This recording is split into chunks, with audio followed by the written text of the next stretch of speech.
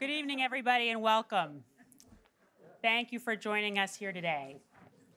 My name is Kim Daniels, and I'm the Associate Director of the Initiative on Catholic Social Thought and Public Life here at Georgetown University. I'm over here. Uh, this has been a really devastating year for the Catholic Church here in the US and globally. Uh, as the clergy sexual abuse crisis has broken into the open once again with grave crimes committed against children and other vulnerable people and serious failures of leadership on the part of our bishops and others who covered up problems rather than facing them straight on. I said that this year has been devastating, but the fact is, this past few weeks have been devastating. It's been emblematic of the past years. We've had revelations about Cardinal DiNardo's mishandling of a case of abuse. Cardinal Pell's appeal is being heard in Australia. A blockbuster Washington Post report about Bishop Bransfield's wrongdoing in the Diocese of Wheeling, West Virginia, including revelations that the Archbishop who was investigating his wrongdoing wasn't transparent regarding Bishop Bransfield's financial gifts, including gifts to himself. It left many, we had some hopeful signs this past week when the U.S. Conference of Catholic Bishops adopted measures to move us forward, and they are real steps forward. And at the same time, many observers wondered whether our bishops get it in watching this, these, uh, con this convening. It's clear that we're living at a crucial moment in the life of the church.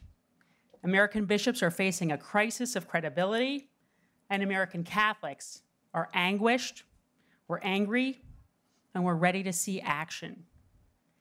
And at the same time, I think that Pope Francis's words from his September 2015 speech to Congress have even more resonance today. He held up a hopeful vision, calling on us to confront every form of polarization that would divide us into two camps, and counseling that our efforts must aim at restoring hope, righting wrongs, maintaining our commitments, and thus promoting the well being of individuals and the common good. We must move forward together as one in a renewed spirit of fraternity and solidarity, he said, cooperating generously for this common good. That is still our call as Catholics in public life. And the question is how can we live that call in a context in which our credibility has been so severely hobbled?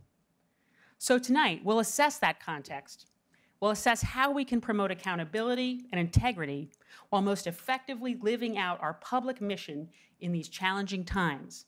And finally, we'll ask how responsible laymen and women can be salt, light, and leaven in our church and in our nation today.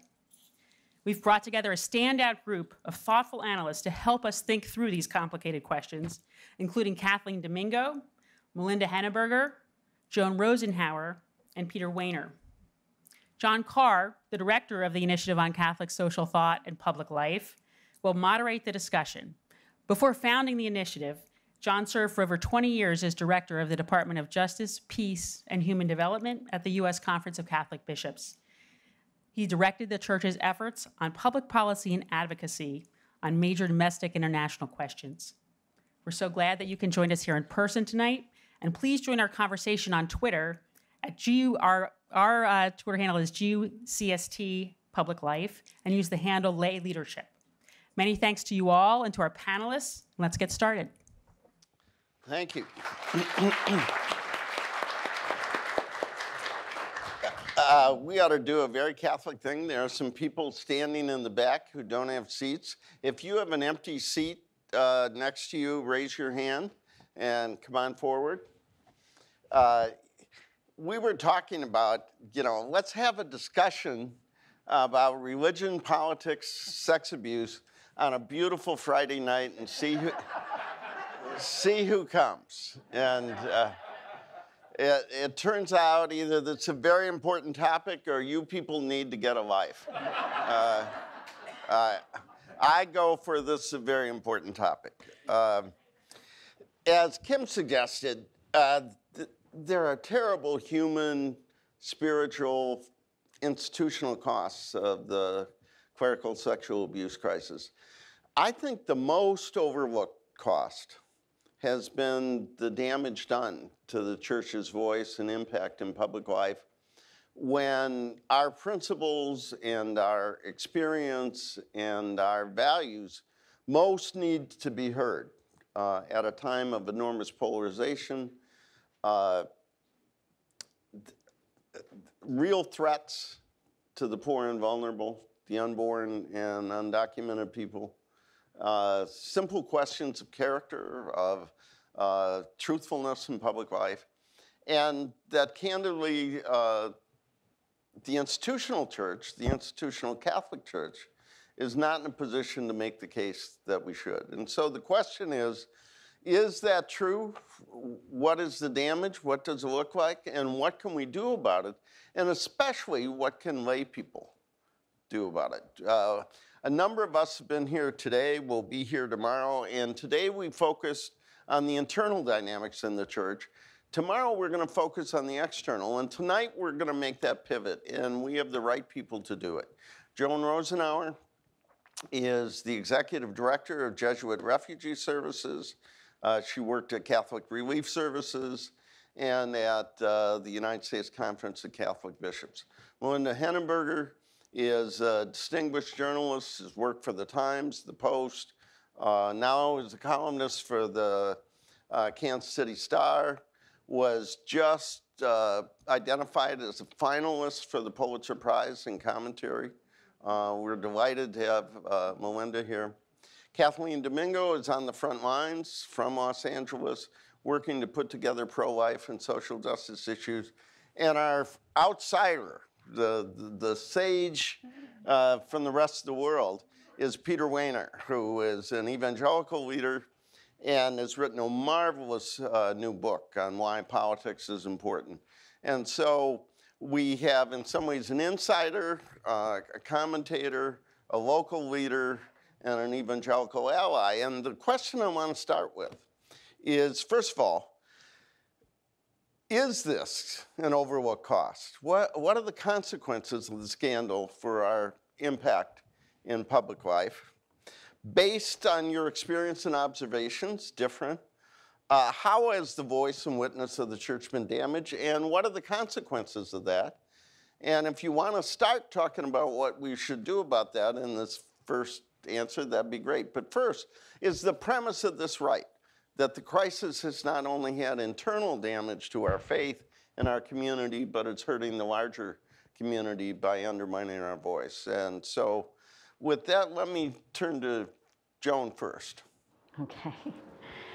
Well, um, I think Kim captured well uh, what we're dealing with here. This has been horrible. We're known now, um, the leaders of our church certainly are known for the exact opposite of what we should be and what we believe and who we are as, as Catholic Christians. Um, and the fact is that in public life, the bishops and the clergy, and I, and I say this with real heartache because there are some wonderful bishops and there's some wonderful members of the clergy, wonderful priests and others, and some of them are in this room right now. And yet, uh, as a group, they have lost uh, credibility and they don't have the standing, I don't think, to speak out in public life and be effective persuading people about the issues that are facing us. I saw um, recently that one of the bishops, one I respect very much, I won't name him, has suggested that the next version of their document on, on faith in public life, which is called Faithful Citizenship, that the next version should include a section on character. And I thought, the idea that the bishops of the United States are going to teach the faithful and the public about character is just not going to work. It's just not going to work. I mean, I don't even know that I would say they shouldn't include it, but it is just such a mismatch right now. I've been at some recent um, events, especially with young Catholics, and and the words that are used are are clueless and tone deaf and things like that. So. Um, what I want to say about all this, it's really heartbreaking, but it is the reality. What I want to say about all this is that at this time, the bishops of the United States cannot be the leaders in public life on behalf of the Catholic Church. They just can't. And that means that it's up to us to be strong and bold as the laity and provide that leadership in public life and lift up our values and what we believe uh, on so many issues that John has lifted uh, up. Um, so I want to say two things about the laity. since I'm suggesting we should be the real leaders in public life. One is that um, let's remember that we have not cornered the market on virtue or integrity or honesty, that in some cases it was the laity who advised the bishops to do things that got us in this trouble to begin with, whether it's uh, that people could, or that priests could be rehabilitated and reassigned, or whether it's that uh, uh, you know, you, you, should never meet with the families or apologize or anything like that. So we have to walk the walk, and we have to hold ourselves accountable to that. Um, the other thing I want to say about the laity, and I think especially church leaders, we have to get out of our bubble because people like me, and I think other, some of the others in this room, maybe not everybody, we, we can get a little consumed with this crisis. We think that the crisis is the center of everything, and it, it should be at one level, but um, last Sunday at Mass, I'm a greeter at 5 o'clock, and uh, the, uh, an older member of the parish and I were in the back, and I said, You know, what do you think about Bransfield and all this stuff? And she was like, Oh my gosh, it's so awful, it's terrible. And then we're watching the, our parish fill up at 5 o'clock Mass on Sunday with young people, millennials. And I thought to myself, you know what? I wonder how many of them would know what I'm talking about if I asked them about Michael Bransfield. You know, would that name resonate with them? So I think we have to remember that not everybody is quite as obsessed uh, with all of this as some of us are. And as a result of that, my experience is that the people in the pews and the general public, and when I go to Capitol Hill, people on Capitol Hill know us as more than the worst actions of any of our members. So I want to focus especially on the, our social mission, and that's what I know most. And I and I and I want to say that if you ask most people if the Catholic Church is on the front lines of caring for people who are struggling in our country, people who are poor, immigrants, and others, they would say absolutely the Catholic Church is on the front lines in those areas. And if you ask them, you know, I work for Jesuit Refugee Service, if you ask them, is the Catholic Church on the front lines of responding to the enormous crisis of people having to flee their homes all over the world, is the Catholic Church on the front lines of responding? People would mostly say yes. They know that we're doing that people know, just two other examples I don't want to leave out education. We are all over this country providing education, essential education for people, and we're also on the front lines of healthcare and in many other ways serving people. So I want us to remember not to get so much in our bubble, but remember that we are known for more than this crisis, which leads to my third and final point, which is a little bit of the be not afraid we need to lift up the outstanding ways that our church continues, our community of faith, the church is the people of God, right? How we continue every day through all of this crisis to witness God's love for the most vulnerable all over the world. We can be proud of what Catholic Charities is doing and Catholic Relief Services is doing and JRS is doing, and, and we need to keep doing it and not think that this crisis can impede us in any way. It can't stop us. We can't let it stop us. If we did, it would be another violation of who we are and what we believe, and we can't let that happen. So we have to use that ministry that we are doing among the poorest of the poor all over the world as our um, credibility, as our, as our standing to maintain a powerful voice in public life as lay leaders on issues affecting the most vul- vulnerable. So the bishops can't be the leaders in this. We have to step up and we have to be strong in stepping up. We need to walk the walk. We need to be proud of the witness that we provide all over the world and acknowledge that people know about that witness. And on that basis, we can speak out, we can weigh in on public issues that affect the poor and vulnerable. And we have to do it more than ever now and, and stronger than ever now. Thank you. Well,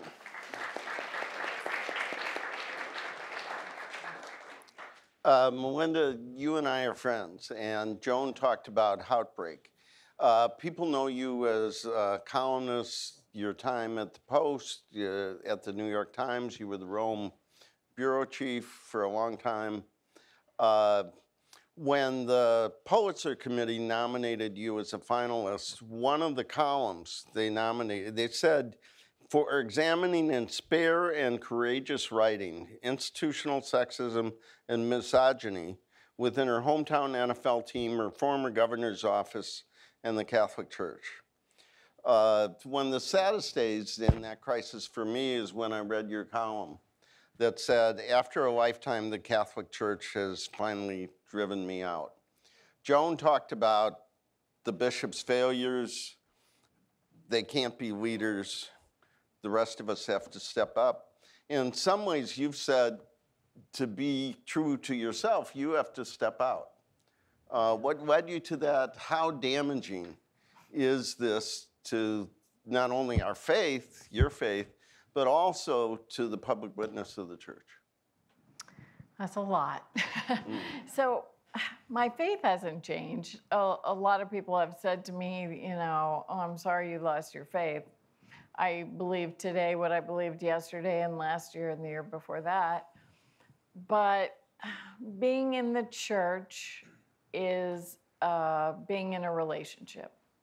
And so I felt that I I love my church as much as I ever did, but I, I felt like I can't be married to you anymore. you know, that it's too far. And people wanted me to have a theological explanation for it, and I do not have that. I just couldn't take it anymore. It was, you know, and I've been not just in the church, but also covering the church for many years. So, and when I was covering the Vatican, it was the height of the first round of this scandal in 02 and 03. And that was tough, but that was nothing compared to this because this was, we, we seem not to have learned anything. We just kept from sea to shining sea and indeed across the world hiding the problems and putting the brand before the people. And it, it's heartbreaking to everyone, but I felt that for me, and I'm glad others don't feel this way because it's true that the world needs the church more than ever. But I just felt to stay was to be complicit, was to say, you know how uh, politicians say at the end of the commercial, I approve this message.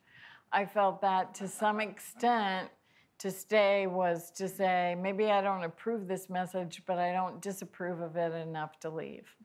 And so, even though I've lost a lot, I mean, my identity was very much and still is. I mean, you know, I'm a Catholic person, but I couldn't.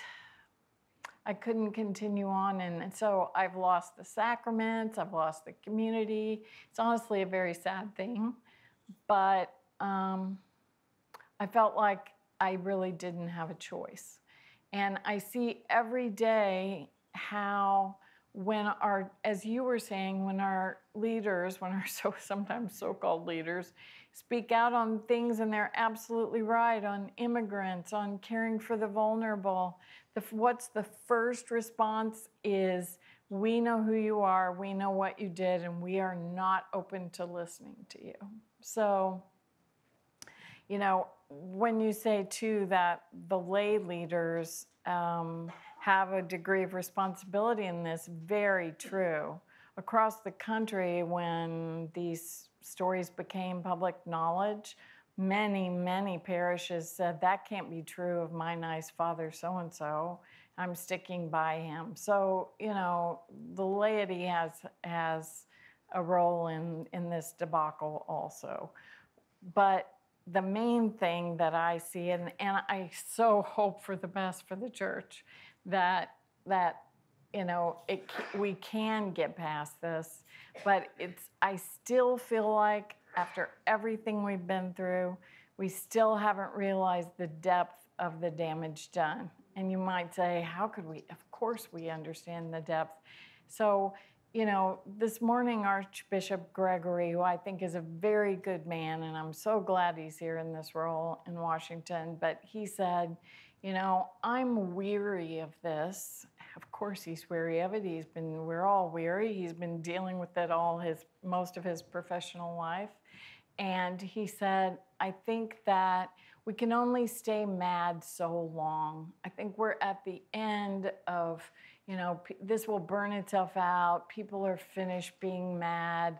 Uh, no, no, and no we're all, this is not even the end of the beginning of this thing and it makes me honestly sad to hear that we still if if we're saying this is behind us i've been hearing my whole adult life this is behind us and it's time to move on. And I, I think we have a lot more time in the desert before that. That understanding is is where it needs to be. And to me, the only answer can come from humility and listening to women's voices, for heaven's sake. I see again and again if, if these guys who made these decisions had had I don't even mean a woman ordained celebrating Mass beside them. If they had had any woman in their life in a meaningful way, she would have said, Are you kidding me? I, I, know that, right? So I think that women's role in the church really has to change, and that is inextricably linked to all these other problems. So.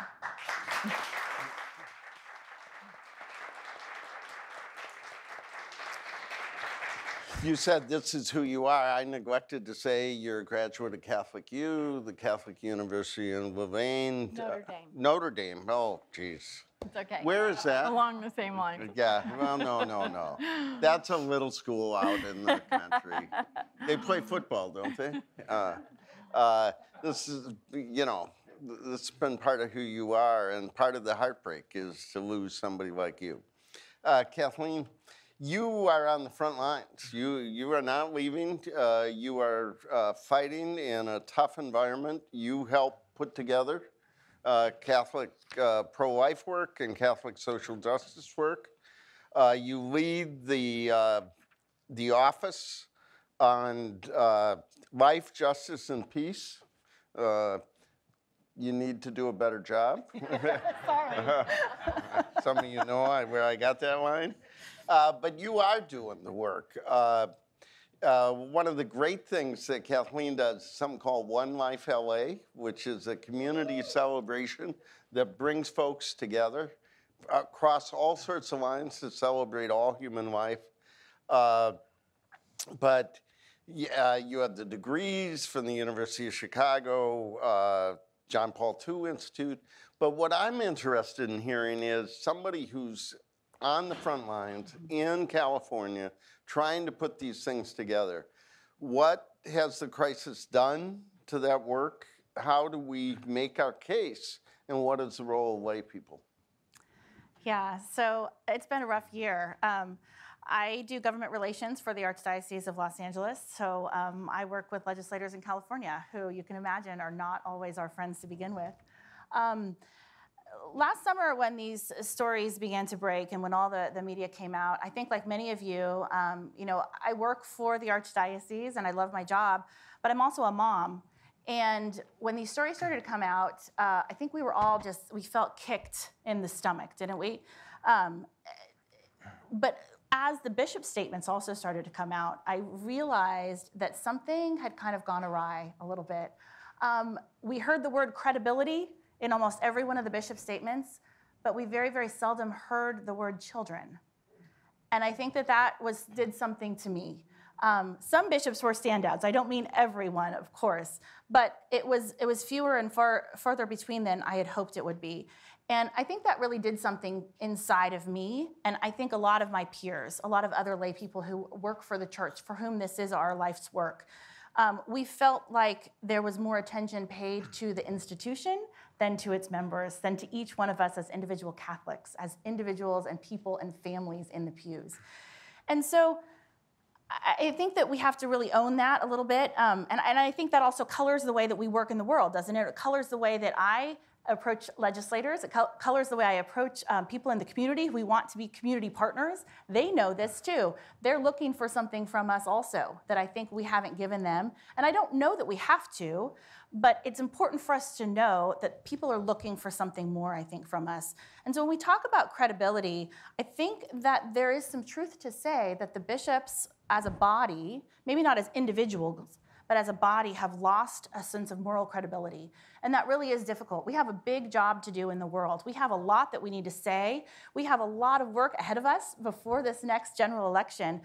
And we have to decide how are we going to do that effectively. And so I think it's important to realize, though, that the credibility of individual Catholics, of me, of you, of all of us here, of your families, of the people sitting next to you in the pews, I don't think that credibility has been lost.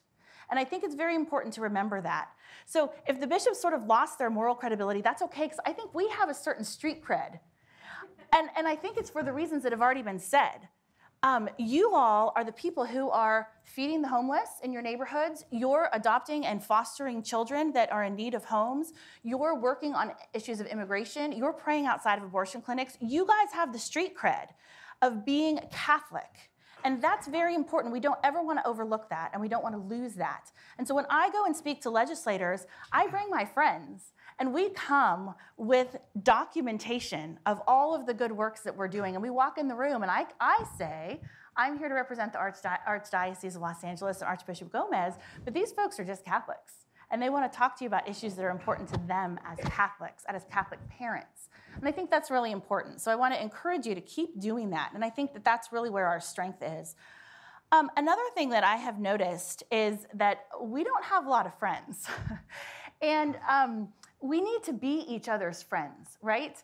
There's a lot of fighting that goes on in parishes. There's a lot of polarization. We had a whole talk about that about a year ago. There's a whole lot of polarization in our parishes. There's the right Catholics and the left Catholics and the pro life Catholics and the immigration Catholics. And you notice those are the two biggest issues that are really facing us as Catholics in the upcoming election season. And yet there's fighting and fighting inside the parishes. There might even be fighting inside your own homes, inside your own families over these issues. But I encourage you to really keep in mind that we're Catholic first. And that is the most important thing. That is our identity. Because I'll tell you, out in the world, when you go and talk to other people, they are not our friends. we have to be each other's friends. And I can be friends with you if you're on the left or you if you're on the right, if you're Catholic first, and if that's what we bring first to the table, is to say, your issue doesn't have to be my issue. It doesn't have to be my heart's passion but I recognize the great work that you're doing, and I recognize that you love Jesus and I love Jesus, and that makes us strong together and united. And so I would encourage you to really try intentionally to overcome that internal polar- polarization in our parishes and in our church, because that is also our strength. And the last thing I would say is if our bishops are not the spokespersons for our Catholic moral teaching, we have to be, and that means we have to know what it is. So I encourage all of you this is the time to double down on your faith. This is the time to really search your heart and see if you need I think we all need to undergo a bit of a deeper conversion. And I encourage you, now is the time because we are going to be called upon in a way, people are going to look to us to say, where does that moral authority reside? It can't have vanished. No, no, it's just transferred a little bit maybe right now, right? I think it's transferred to us. And so we have to really hmm. know what we're talking about. We have to believe it in our gut. We have to be willing to stand up for it. And so I would encourage you, if you look and you say, this is what we don't want, right? We don't want this clericalism. We don't want sexual abuse. We then need to be the exact opposite of that. So, what does that look like? I think that means we need to embody things like kindness, humility, chastity, right? I think it also means that we need to be models of what does it mean to be Catholic and who we are. If you're married, exemplify a beautiful holy marriage, right? Show that we still believe in our sacraments. We still believe in the faith that's been handed to us in our moral teaching.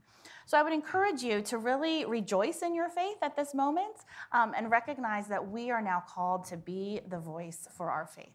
And you can do it.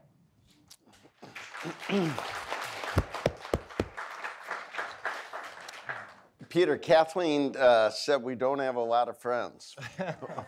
Uh, you're one of our friends. Uh, oh, thank you. Some people would say you need to be careful about who you choose as your friends. I mean, you have done so much in your life. You're at the Ethics and Public Policy Center now. Uh, you write a column uh, for the New York Times. You're a contributing editor to Atlantic. Uh, you worked in several Republican campaigns. You worked in the Reagan White House. You were a speechwriter for George W. Bush. Uh, you've written books, City of Man, Religion and Politics in a New Era with our friend Michael Gerson, Wealth and Justice, The Morality of Democratic Capitalism with Arthur Brooks, who has been a part of our, our work at the initiative. And then you have a new book with the very modest uh, title, not at all topical The Death of Politics. That's upbeat. Uh, how to Heal Our Frayed Republic After Trump. Uh, Melinda talked eloquently and sadly uh, that she no longer can be a part of this institution. You wrote a column that I remember to this day saying why I can no longer call myself an evangelical Republican. You might want to say something about that. There are some lessons for us on that. But I would like to ask you can, can you still say you're a friend of the Catholic Church in its defense of human life and dignity? And what does this crisis in our church mean for the chaos in our nation? Sure, thank you. Thanks for, for having an outsider uh, on the uh, on the panel uh, and to be up here. I'm, I'm honored to be here and moved, quite frankly, to uh, to be here with with these folks. I uh, I still consider myself a friend of the Catholic Church and certainly consider myself friends of of individual um, Catholics. Um, I'd say a couple of things. One thing that struck me in listening to these uh, comments, you know, there's that line in, in Scripture that the wages of sin is death. But the wages of sin is also heartbreak uh, and tears and pain. And I think people don't often recognize that uh, until it's happened. And they, then they see the blast radius of sin and what it does um, to the lives of the people, above all, who are victims, but not just to them, uh, to, to the people uh, who have given their hope and their trust and their confidence uh, in institutions and in individuals.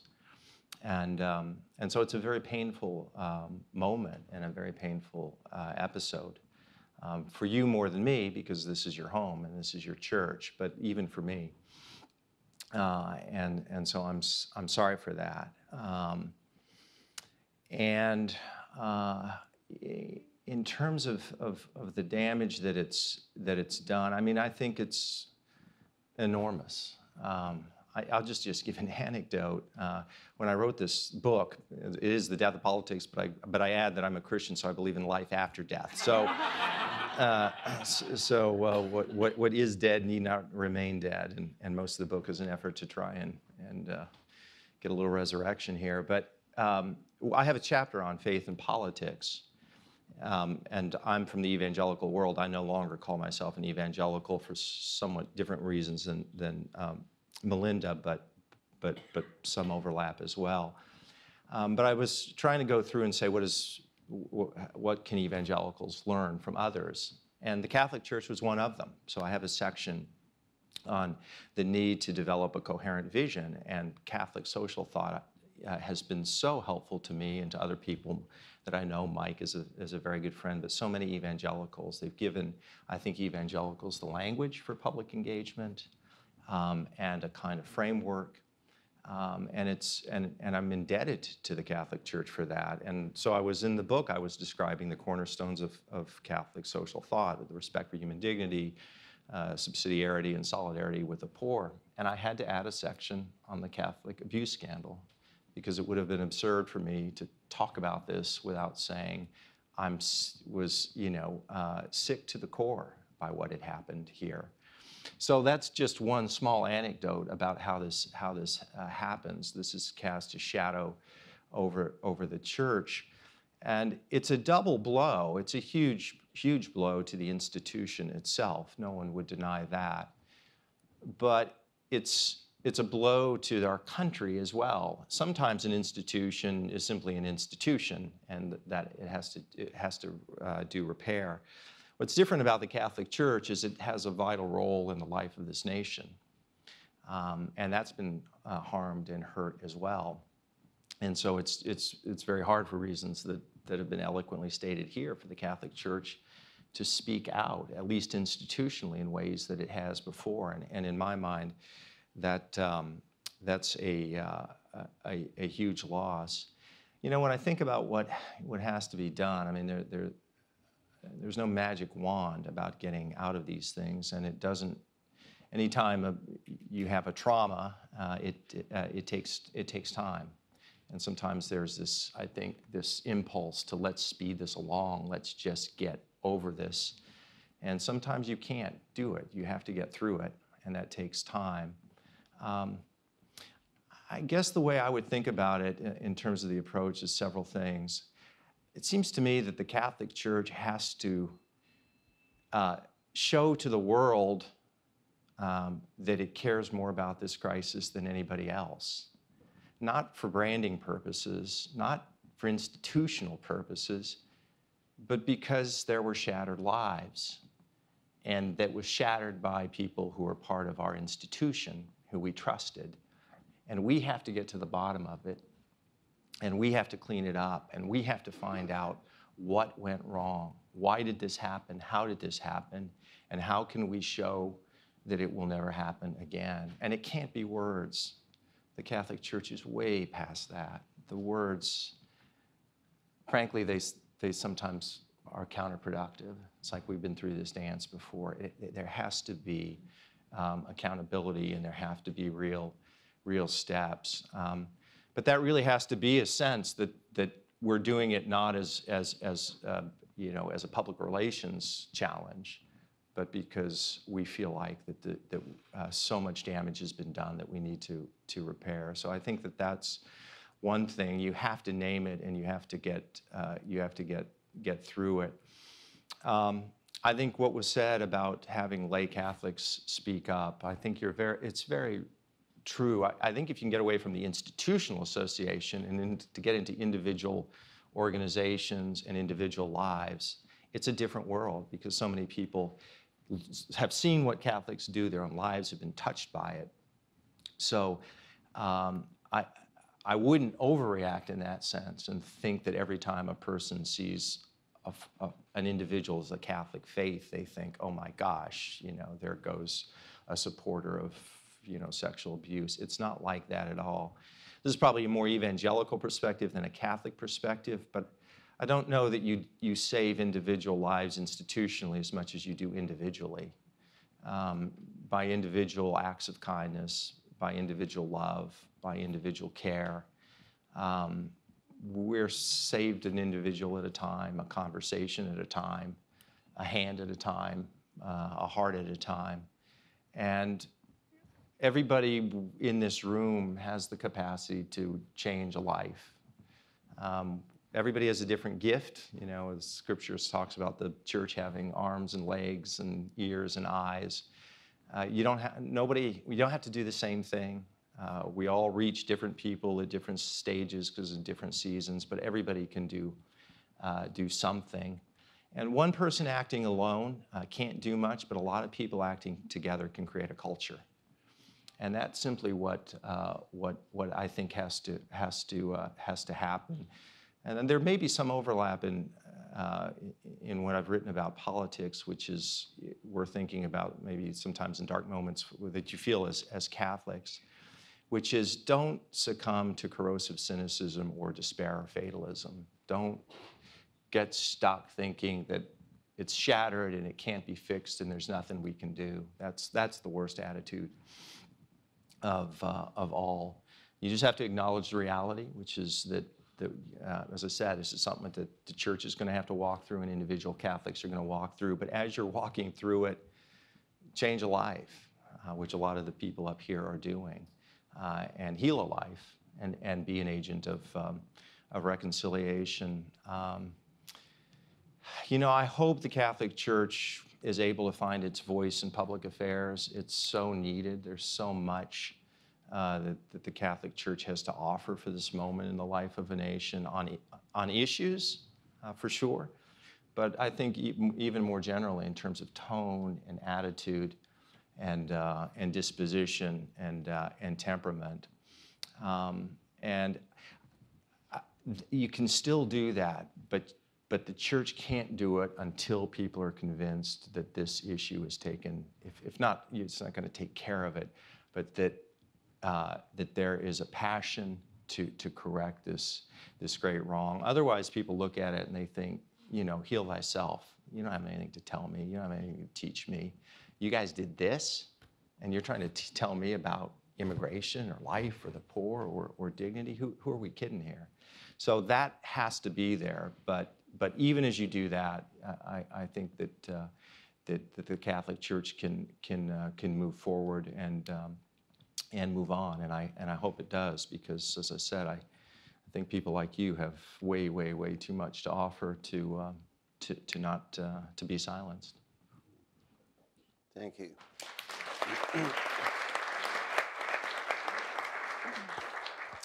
Well, uh, we're talking about sin, uh, we're talking about heartbreak, uh, we're talking about failures, but as Joan said, uh, in another way, we're talking about that we're more than our failures, but we have to uh, face up to the harm that's been done, the hurt that is real.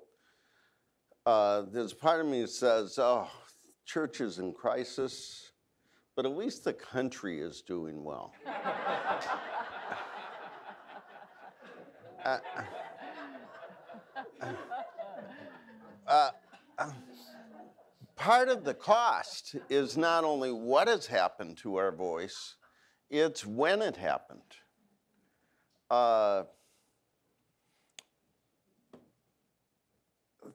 think about where we are. I mean, the, the sort of fundamentals of truth, civility, uh, respect for the law, concern for the vulnerable, respect for human life, uh, welcome to refugees and immigrants, uh, the humanity of unborn children, and the rights and lives of women. All this has become the fodder for partisan war and ideological combat. So uh, Joan and I worked together at the Bishops' Conference, and uh, she not only runs Jesuit Refugee Service, she was vice president of uh, Catholic Relief Services and helped us think about the Catholic social teaching that Peter talked about. Uh, when we worked together at the Bishops' Conference, we worked on faithful citizenship, on the role of the church in public life. So one of the questions is if, if I think we're pretty clear about the mess we're in, and I think there was actually some consensus about how we move forward with lay leadership, building on what we do instead of what our leaders say. How do we make a contribution in the middle of a public life that seems to threaten the poor and vulnerable and leave no room for the common good? What does faithful citizenship look like today? Not necessarily for what the bishops might say or not say, but how we act in the middle of this mess with an election upon us. You're asking me? You. yeah. Okay. Um, Well, that's an easy one. Um, um, I, you know, I think there are elements of what is in faithful citizenship that are still really important for us to, to remember. And, and part of that is that it really does reflect and affirm the, um, what, what is essentially the consistent ethic of life, which is so wonderful. I was at a conference the other day and somebody said, Our teaching makes so much sense. And it, and it really does. And so I think as, as um, citizens and as faithful Catholics, we have to really focus on that teaching and um, contribute it to the public debate and not be afraid to do that. We, you know, that, that, that um, you know, recognizing the, the uh, value of people from conception to natural death and all that that means and all of the issues that, you know, have been listed here that has to be lifted up. Um, we can't, one of the things that's in faithful citizenship is that we can't align ourselves so clearly with a party or a candidate that we abandon half of what we believe. And um, that's an easy thing to do in the current culture. So I think we have to stand by that idea that nobody has us in their pockets, that we're going to hold every candidate accountable for that range of issues and they're going to be challenged on the ones where they disagree with us, and we're going to affirm them on the ones where they agree with us. Um, and so I, I, think that's an important part to continue to lift up and that we have to, to bring to life in our public life and what we bring to the public debate. Um, even though I said that the, the bishop's teaching about character is a little hard to, to get used to at this stage, that idea of character um, is certainly important in our public life. And, and um, we have not always, and this crisis has shown that we're not always kind and loving and caring for, um, you know, treating others as we want to be t- treated. The values that cross religions and cross really ethical uh, points of view. Uh, we're not always consistent with that, but it doesn't mean that we shouldn't hold ourselves to it and hold others to it.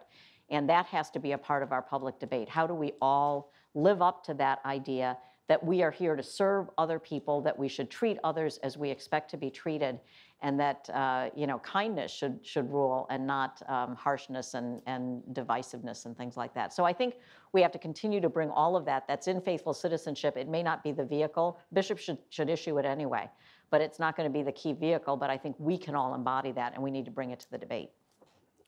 Thank you for that.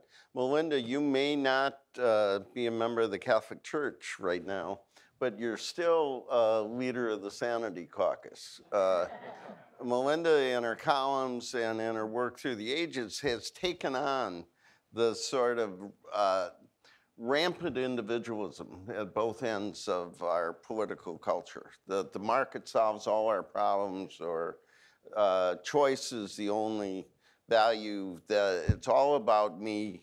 Uh, it's all about money. It's all about power.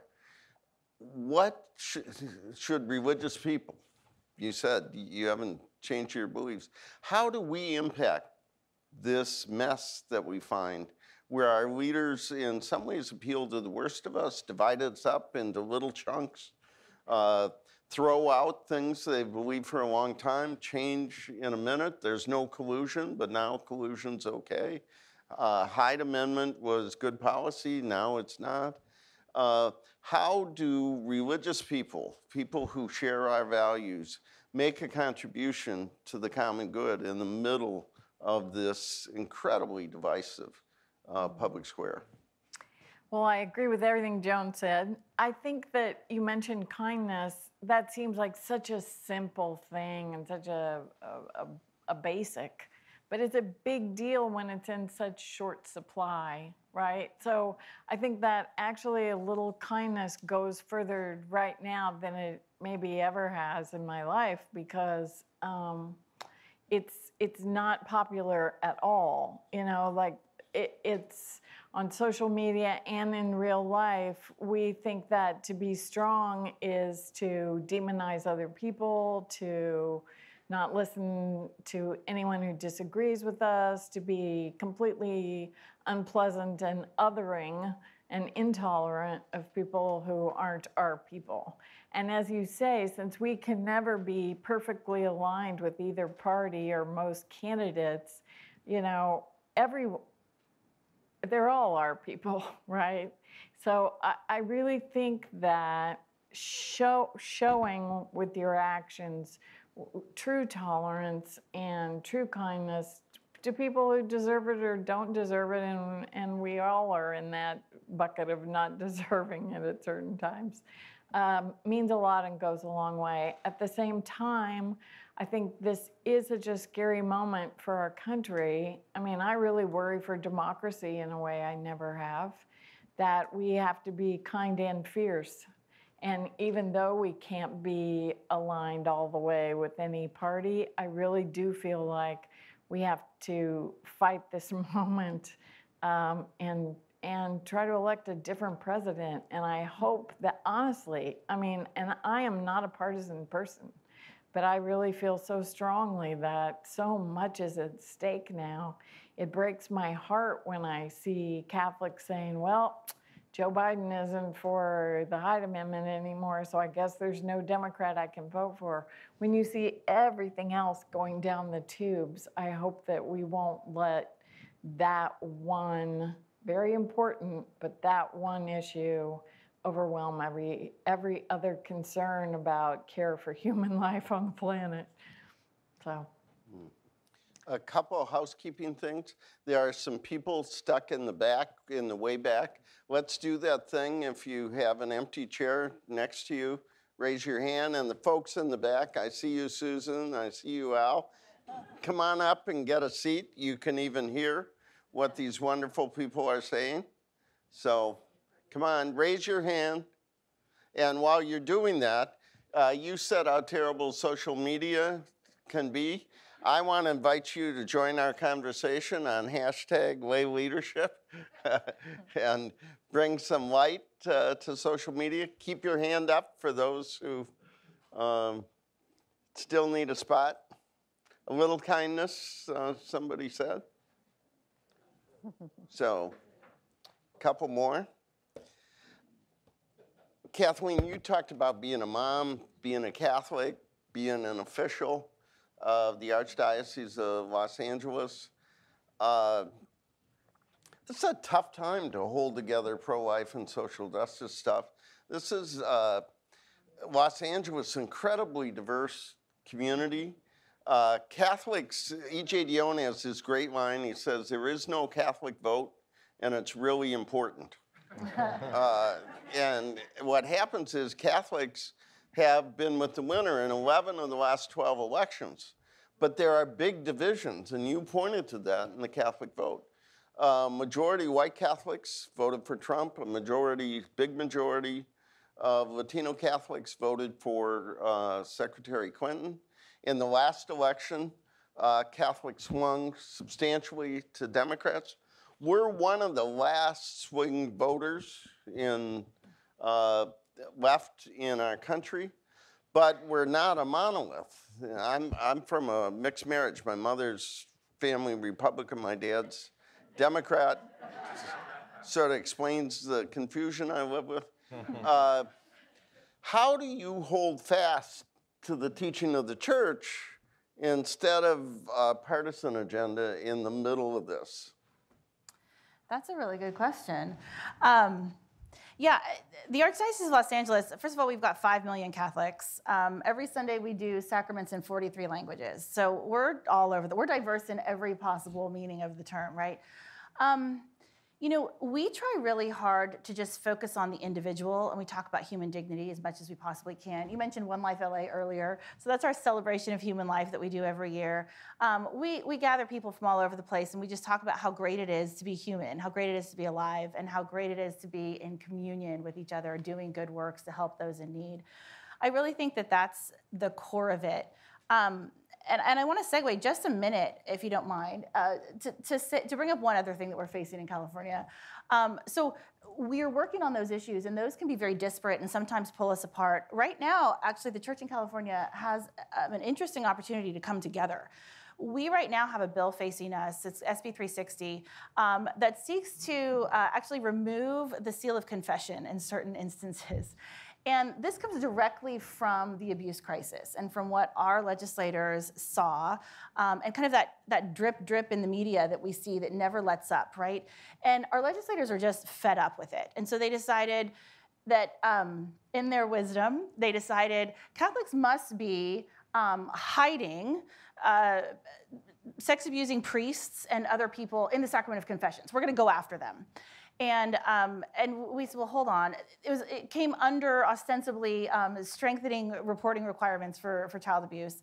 Um, we've done some, some background work and, and we've gotten some amendments. But so now they're just saying, well, no, we're just going to remove this, the seal of the sacrament of confession for priests and for lay people who work in the same area with priests. So what does that mean? That means they're talking, they think we're in collusion. They think that we're, we have a big cover up going on, right? The parish secretaries are hiding with the priests doing all these things. What we've learned from that is that, um, and this isn't just a fringe group that believes this. I mean, keep in mind, the Senate of the state of California voted 30 to 4 in favor of this bill. So it's already passed one house. Um, you know, we're trying our best to stop it. We hope we stop it because if we don't, it's probably coming for you all. Um, but what we've learned from this, though, is that this is a moment we can come together and we're actually using it as like a unifying way of saying we're Catholics first. So again, that, that idea. We're, we're seeing people, um, the Knights of Columbus are getting very involved, but also our Latino communities are getting very involved. We're mobilizing our immigration task force. They're all working on this together because this is really at the heart of who we are as Catholics and as individuals and our human dignity, but also our human rights. And so it's almost kind of a blessing in disguise, if you will. I don't know if I can say that because it's horrible, but at the same time, it's really an opportunity for us to come together and, and talk about who we are fundamentally and say, we are Catholics and we're in this together. And so um, please pray that we win on this. Um, it really is an attack, and it's something that I've learned that's different than anything I've ever seen before. Um, we know that sort of the culture has this attack on people of faith, right? They're becoming increasingly hostile to people of faith. This is an attack on religion itself which is a little bit different. And so I just want to call that to your attention because, again, I, it seems to be sort of a trend in that direction that religion is now a hindrance. It's, a, it's something that is so intolerant we can't even allow it to be itself any longer. Um, but it's, be, it's, become, it's become this unifying um, opportunity for us. And so, I mean, clearly that's appalling, but the reality is what we talked about earlier is what has given people this opening. And the, we will come together, but we need to come together to deal with the problem before we can, while we make the case. Let me go back to uh, Peter on uh, your book is really eloquent on uh, uh, the place of politics and the role of faith in politics. You've gone through your own desert. I mean, uh, you've been a senior Republican official, you worked in campaigns, you've been a leading evangelical. You wrote a column that sounded a lot like Melinda's column. I can't be an evangelical Republican anymore. Uh, tell us the story of your book, how you came to that, and where how you define yourself now. Yeah, uh, sure. Ha- happy to uh, to do it. It's a Um, great book. It's available on Amazon, I understand. bless your heart. Uh, this is how we get crowns in heaven. Um, At least time off purgatory. yeah, yeah, ex- ex- exactly. You don't know what that It's- is, but it's is- really important. This is going to get into a very intense theological debate. I thought we agreed to avoid that.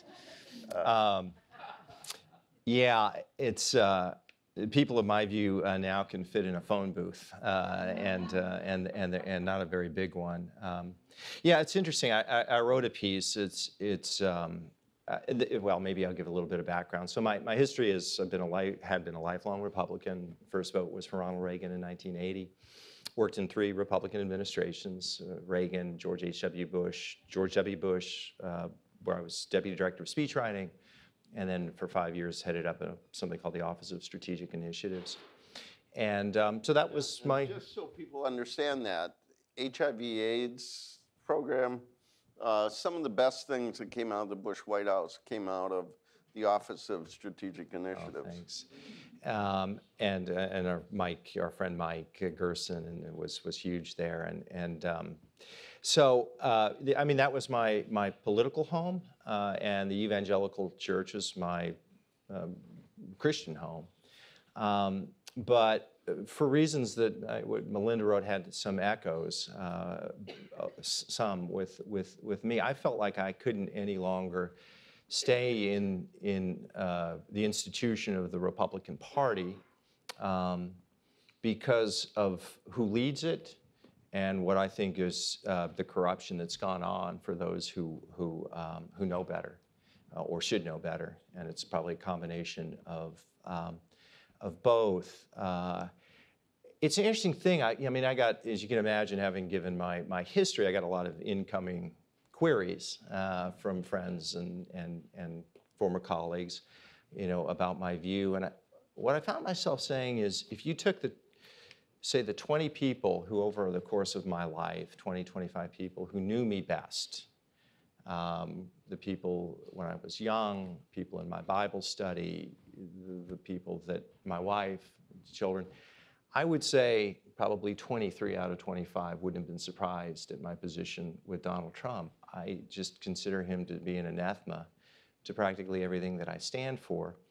Um, and, uh, and the idea that the Republican Party would, would, would be his sword and his shield and defend him at, at all costs, it's just indefensible to me. And I think rather than saying I'm a Republican but all the time, it was just simpler to say I no longer consider myself a Republican. Uh, and I'll, I'll, let me just give two specific examples I don't want to make this too partisan, but, but you raise the issue of Trump, and it- it's, it's a big issue. There are two reasons that uh, I uh, feel in particular that, that I can't support him, because his agenda, I'm a conservative, so if you said, whose agenda do you support more? I would say his more than Hillary Clinton's, even though I, I certainly have some, some uh, differences with him on what he's done. Um, the first is that I, uh, uh, well, there's several. One is I think that he's um, psychologically and emotionally a dangerous man to be president. Um, and having been uh, served in the White House, um, I think I, at least I've told myself that I have some understanding of the power of that office. And the older I've gotten, even pre-Trump, the more I have said character disposition, temperament, and judgment matters. Less where you check the box on policy issues, though that matters a lot. I spent my entire life in policy, but more in this other realm. And so I think there. Second is that he's engaged in not just, I would say, in ass- assault on truth, but an effort to annihilate truth, to annihilate concepts of truth and falsity. Um, that is, he takes on demonstrable truths, things that we know to be true, things that you can show to be true, and says they're not true. And that's just very dangerous territory to be in. And if you don't believe me, read Václav Havel, the great Czech dissident who later became president, The Power of the Powerless. And he talked about in that, in that essay about the greengrocers and how you begin to live within the lie. And he said, You can't live within the lie, you have to live within the truth. And you have to revolt against manipulation. And um, so th- that is second. And the, the third area, and this is again where I think the Catholic Church in some ways has so much to offer, maybe in, in some respects more than at any point in my lifetime. That is that uh, the dehumanization, the cruelty, the crudity that now characterizes uh, politics. Um, and, um, and I think that the Catholic Church has so much to offer. And to underscore what Joan said, one of the reasons that I broke from the evangelical movement, that I don't call myself an evangelical any, anymore, um, is the reason that I think the Catholic Church has done so well, which is when you said we're Catholics first. And what I saw with the evangelical, frankly, white evangelical movement is um, that they uh, subordinated their faith to these partisan, the partisanship, and they became um, pawns in a political game. And their their primary affiliation, as best I could tell, a lot of them, not all. I have a lot of friends who are evangelicals. It's a big movement, and, and people have varying degrees on this, but much more than I than I had thought they identified themselves first and foremost with now with with with Trump, and there was this disfigurement of faith that happened. Uh, I mean, I've and I struggle with this too. I think we all do. Confirmation bias is very real, but I at least always thought that what you would try and do, as imperfectly as a per, as a follower of Jesus, is you'd say, all right, what as best as I can tell, what's the teaching of Jesus and the, and, and, and the scriptures? And how do you, again, imperfectly conform your life in, in various aspects to it, including your political life? And I think what's happened to a large part of the evangelical movement is the opposite. They've said, what is my, what, the starting point here is the partisanship, and how do I conform my faith to make it, to make it, um, to make it fit? Um, Now, maybe there's a lesson in this too. When I say I'm not an evangelical, I tell people, but I'm still a Christian. And when I say I'm not a Republican, I say I'm still a conservative. So it's not just the institutional home. You, you don't have to jettison everything you believed um, because you're no longer comfortable in the home. And sometimes you leave the home because you feel like that they've in fact jettisoned everything that you that you um, that you once um, once believed. Um, let me say a couple of things on this political moment too, because uh, I think it is a difficult moment. Um, first thing is always to keep perspective. So this country has been through a lot worse than we have now. It's certainly the case that there are some things that are sui generis to this time, and we've never had a president quite like Trump. But uh, you know, you go back to the election of 1800, Jefferson and Adams. That was a brutal affair. It almost tore apart the young republic. We had the Civil War. 700,000 people died in a country of 30 million. That's the equivalent of 7 million today. The late 1960s and early 1970s, riots in the street, uh, the, the racial tension, the Vietnam War, March on the Pentagon, Kent State, Watergate, uh, the Chicago Convention in 1968, you know, blood in the streets, the assassination of King, the assassination of, of Bobby Kennedy. Uh, there were, in an 18-month period between 71 and 72, there, there were five domestic bombings uh, a day uh, in, the, in the United States. So th- there have been difficult times. And the other thing is, just to echo one other thing, and I'll, I'll end on this note, is you can't give up hope. If you haven't read it before, a lot of you probably have, uh, look up Bobby Kennedy's uh, University of Cape uh, Town speech in South Africa in 1966. I'm a huge fan of Bobby Kennedy's speeches. I think that's my favorite one. And he warned against the danger of futility, particularly for young people. The, uh, and then he went on to say that every time a man stands up for an ideal or acts to improve the lot of others or strikes out against injustice, he sends forth a tiny ripple of hope and that those ripples of hope together create currents, and those currents can uh, take down the, the largest walls of oppression. And this country isn't South Africa in 1966. We don't have an apartheid regime, but they did get rid of it. And so people can't, uh, can't get into the mindset that there's nothing we can do. Uh, we, we can do it, and we have to do it because politics matters, because politics, for everything else you associate with it, is finally and fundamentally about justice, human dignity, human flourishing. There, and if you get politics wrong, uh, there can be so much of what you love and care for can be swept away. And if you get politics right, it creates the conditions for human flourishing and, and human dignity.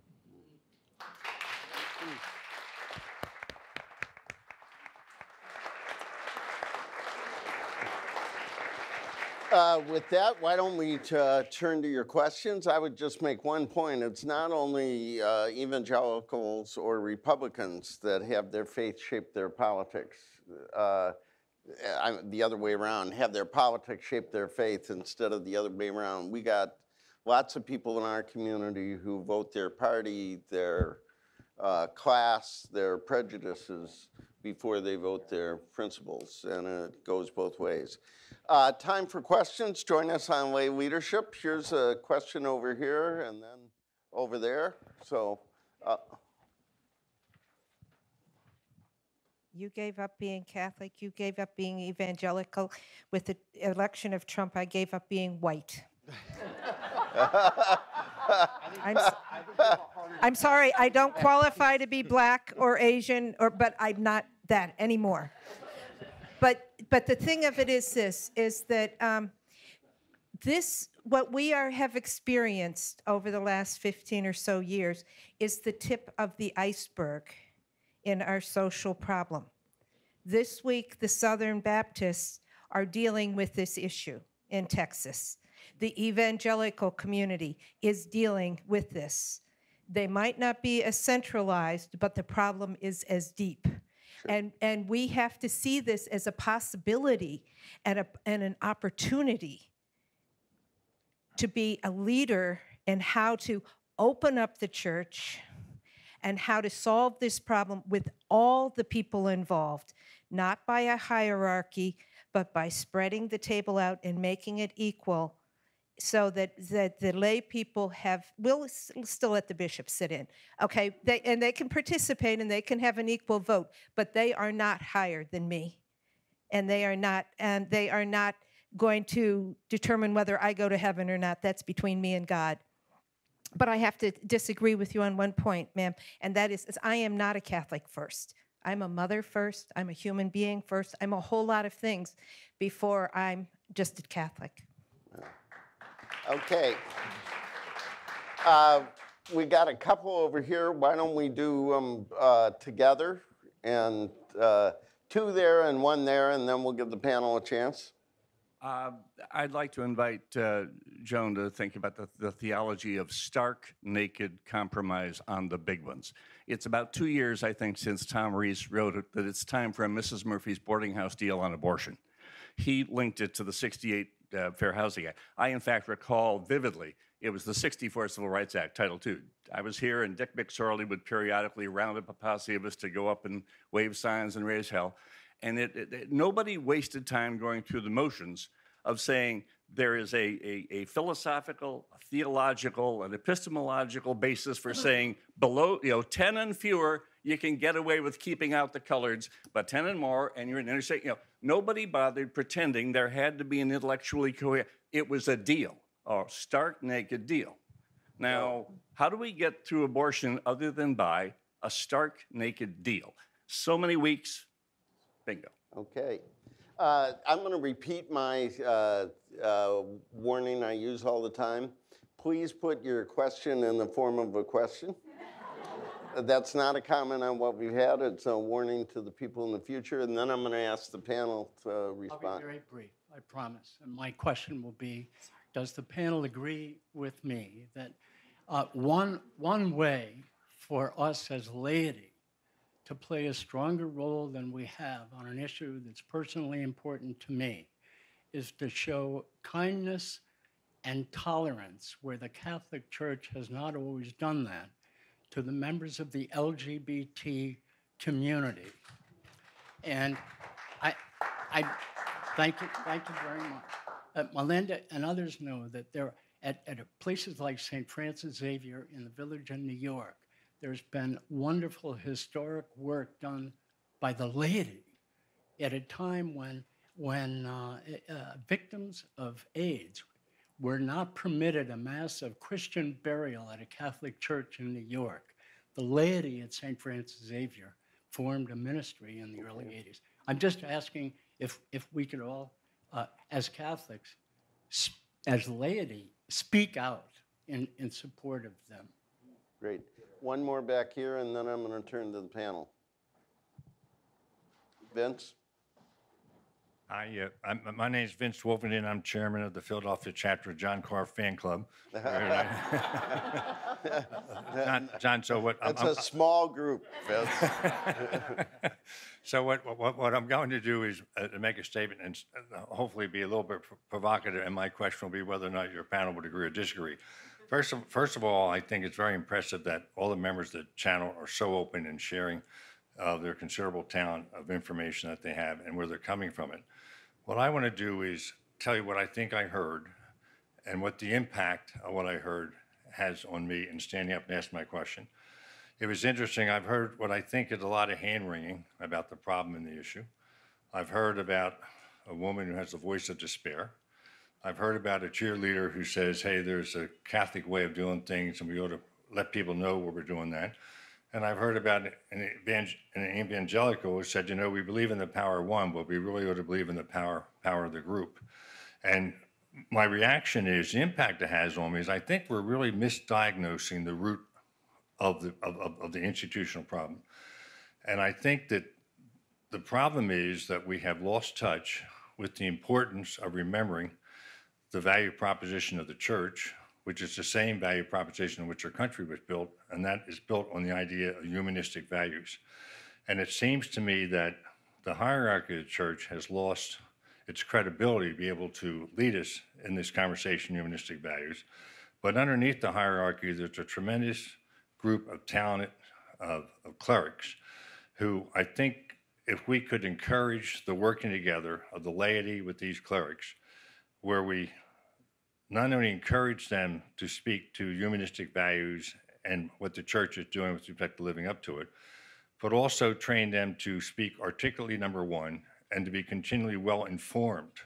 Uh, I think uh, one of the panelists made mention that there are a number of people who wouldn't do it. So, so what I'm, what, what I would suggest is that uh, we try forge some way that you get the church to agree that the laity ought to be working with the, with the clerics, but underneath the hierarchy. And what they ought to be doing is focusing on humanistic values and teaching the clerics how to articulate about it smartly, number one, and continue to be informed of- about it, number two. Thanks, Vince.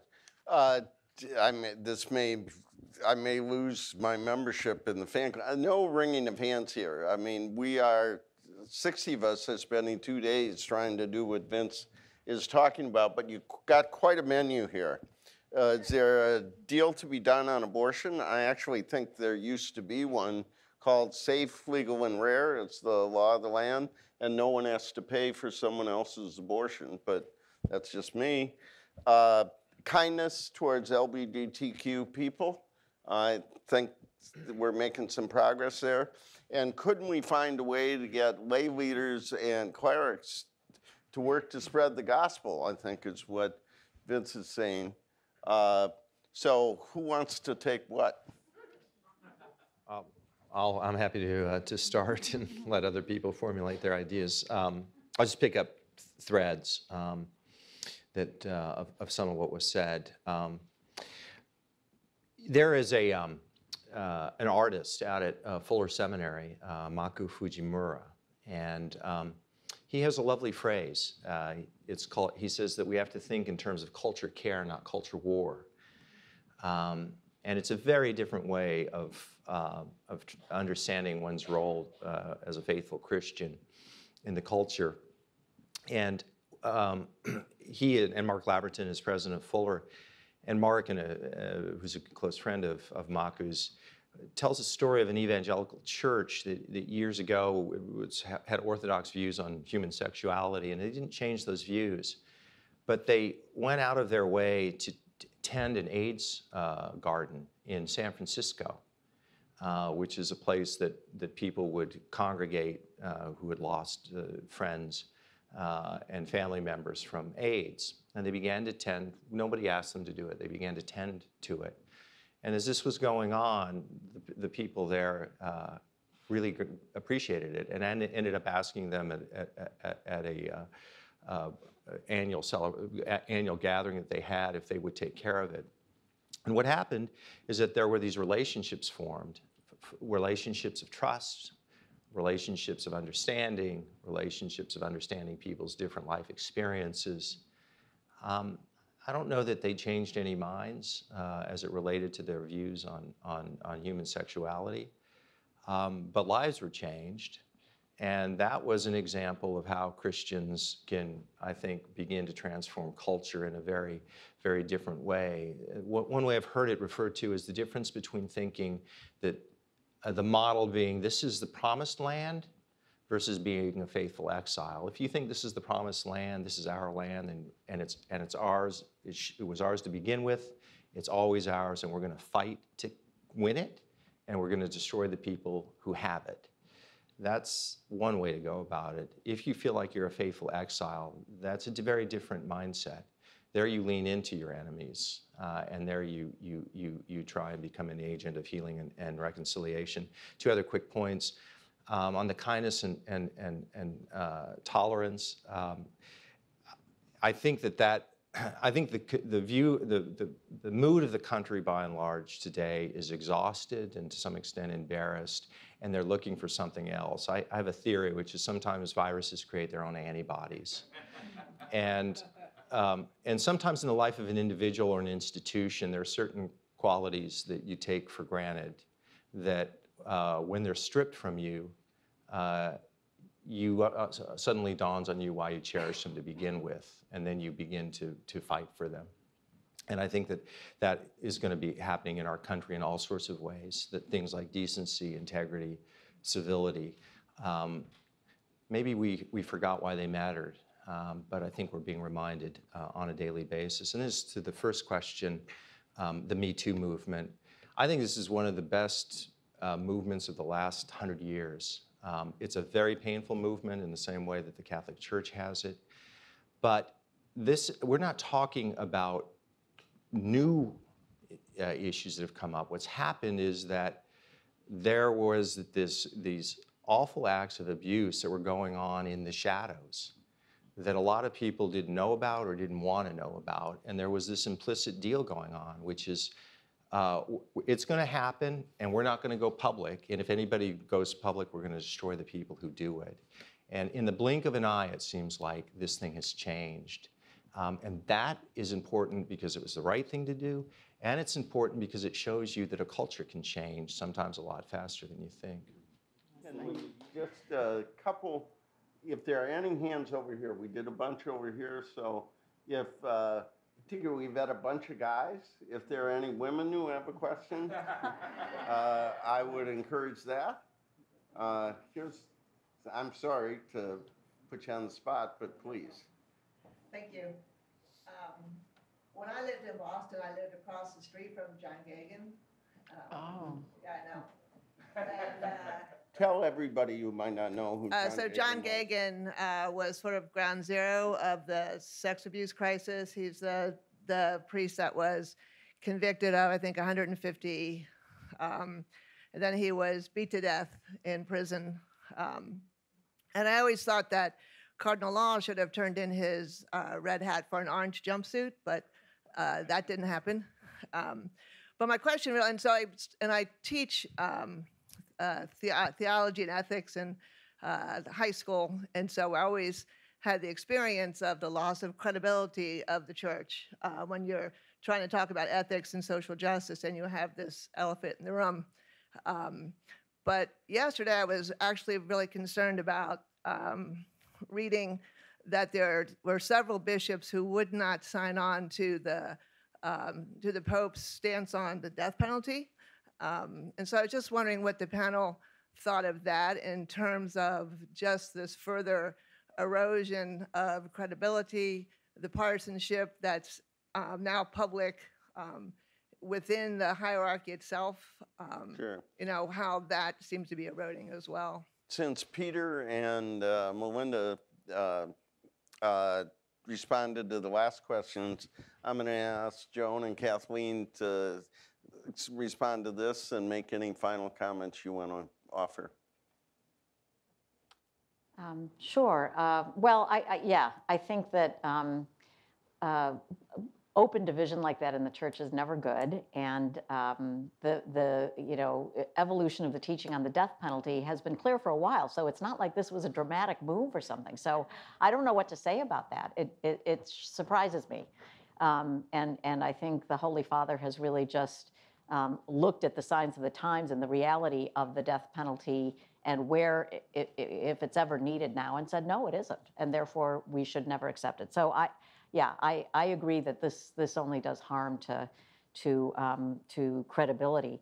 Um, I, I, I guess I, my, my final comment, I want to, I want to um, just say one other thing, kind of going back, because I've been thinking about it since you raised your question about LGBTQ people, and I, uh, one of the great things about working for the Jesuits is I've gotten to know amazing Jesuits all over the world and in this country, and one of them is Jim Martin. And um, the thing some of you may be aware, but immediately after the, the statement from the, the um, uh, education uh, dicastery, I guess, um, in, in Rome came out, he immediately sent out a tweet that said to all LGBTQ people, God loves you. And that's the bottom line. I mean, that is the bottom line. Everything else we have to say, it has to be grounded and focused on that. And I think that is kind of a beautiful message on that question. Kathleen? Great. So um, I just want to thank all of you for your attentiveness this evening and for your thoughtful questions. Um, I, I know we've talked a lot about some difficult subjects. I think if I have to leave you with a comment, it would be this. We're facing a really important moment in our country. We're in a, an important moment. We're facing an even more important moment for the country and for the church. And don't let this be a missed opportunity. I think sometimes it's really easy to say, well, the bishops didn't say this or the priests didn't say this, but this is our opportunity, I think. And so I would just really encourage you um, take this moment seriously and see what we can do. There's real hope and there's really um, an amazing current of um, especially young adults who are Catholic, who are faithful, who really want to do some amazing things, and try to tap into those people if you haven't met them, if you don't know them. They're so energetic and they're in love with the church and they want to do things, and they don't have a lot of the hangups that some of us have. They don't have a lot of the polarization. Um, uh, sort of baggage that some of us have. And I think that's really important to see their vitality, their energy, and then join with them to do something really good. Uh, We have had a lively discussion. We have to bring it to a close. Uh, The good news is there is a reception, and I will meet you at the ice cream bar. Uh, The, uh, the, uh, I want to thank very much our panelists. I want to thank Anna and Kim who helped make this possible. I want to say we've had a great year, academic year at the initiative, and we plan another one. Just previews of coming attractions on uh, September 5th, 19th. Speaking of the death penalty, we'll have Sister Helen Prejean on her new book. I worked for the Bishops' Conference when a motion on the death penalty to oppose the death penalty passed by one vote. Uh, this week, it was 210 to 8 to oppose the death penalty. I would say that's a sign of hope. Uh, we're going to focus on Pope Francis and his leadership, and we're going to invite our new Archbishop, and who can talk about what he cares about, what he's trying to accomplish, and how he talks about the sex abuse, con- but also racial justice. We're going to do a lot about the campaign. What does faithful citizenship? It's amazing. Everybody's talking about religion and faith, and we have a lot to say about that. So we'll see you in the fall. Uh, so there's a lot to come. I want to close with uh, a personal thought. We always say we've we we set up the initiative to focus on the intersection of faith and public life, and we don't deal with internal church issues. And over the last year, we have done seven gatherings about this crisis because we couldn't get to the other issues without dealing with this. Uh, some of you know, in that process, I disclosed that I'm a survivor of sexual abuse.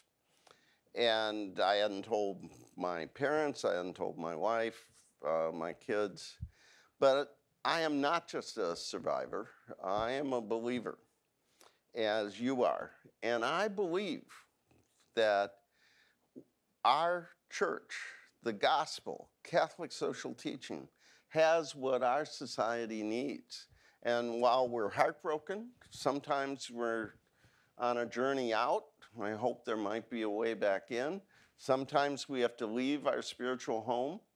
But all of us need to stand up at a time when our country is in peril, when our church is at risk.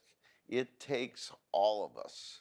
And we have faith, we have ideas, we have experience, and we have each other. And I want to thank you for coming out tonight and demonstrating that.